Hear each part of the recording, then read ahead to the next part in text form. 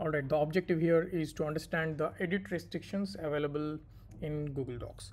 Unlike traditional editors such as MS Word, Google Docs right now doesn't have an option to password protect the document. It does have something called security limitations, but it is mostly at an organization level and is not actually a password protection.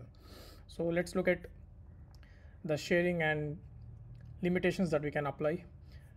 Click on the button available on the right top of the screen. Now, right now, this document is just shared with the owner, with yourself, no one else.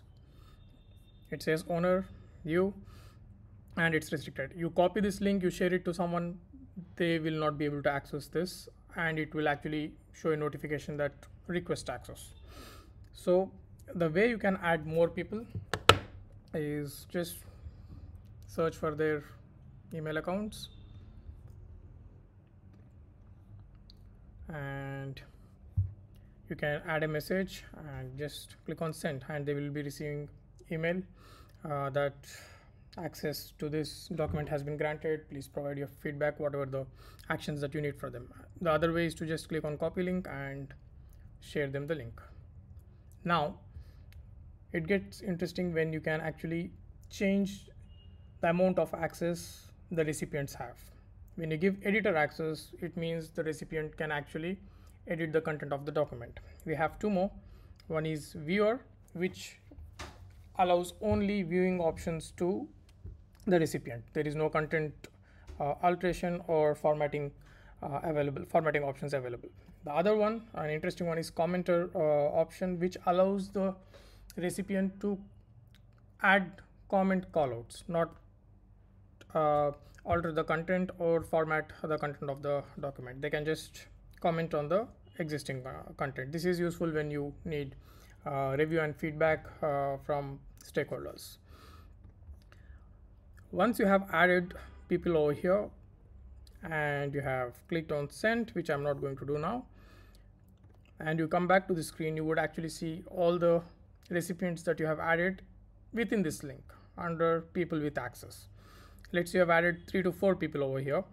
Then if you copy link with restricted uh, option selected here then only the three people that you have shared it with have access to the document.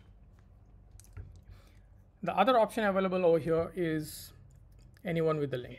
Once we click on this people with access goes out of the picture.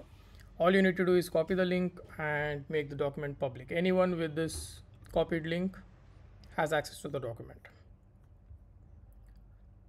So those are the limited restrictions available in Google Docs. I will update this when they come up with password protection, which makes much more sense than this. So that's all from my end. Uh, but before going, I would like to give you the workaround where you can actually add password, but takes around four to five steps. Click on file, click on download and download this document as MS Word. And once you convert this as a Word docx file, open it up in MS Word and add the password there. I will add the tutorial uh, link in this video. So you can set the password and then upload that document to Google Drive. And when you open that, the password is requested. It is a workaround available right now. So hope this helps. Thank you.